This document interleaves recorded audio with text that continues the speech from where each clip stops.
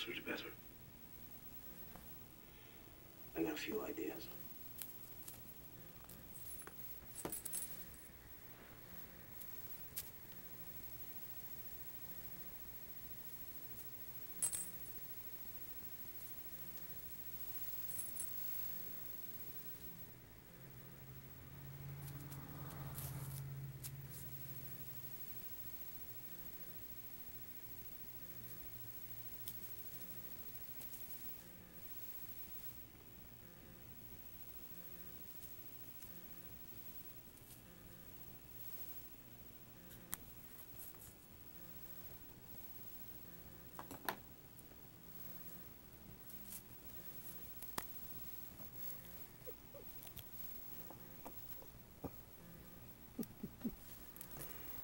Would you quit?